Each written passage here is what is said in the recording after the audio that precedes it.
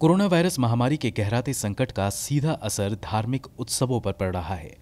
पहले बिना मस्जिदों और ईदगाहों में जुटे बिना ईद मनाई गई और अब मुंबई के लाल बागचा राजा गणेशोत्सव मंडल ने इस साल 22 अगस्त को होने वाले गणेश चतुर्थी का पर्व नहीं मनाने का फैसला किया है।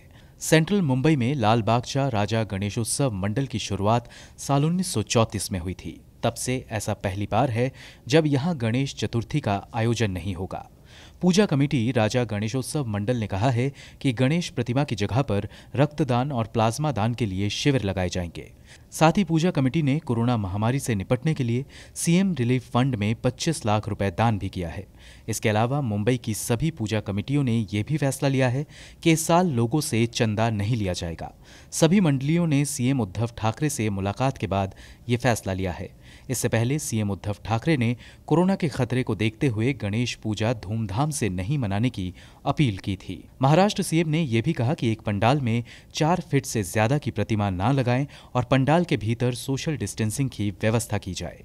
बता दें कि मुंबई के अलग अलग हिस्सों में गणेश चतुर्थी के मौके पर दस दिनों का भव्य आयोजन होता है। मुंबई के लाल बागचा में आम लोगों के साथ साथ बड़ी हस्तियाँ भी गणेश पूजा के लिए पहुँचती हैं।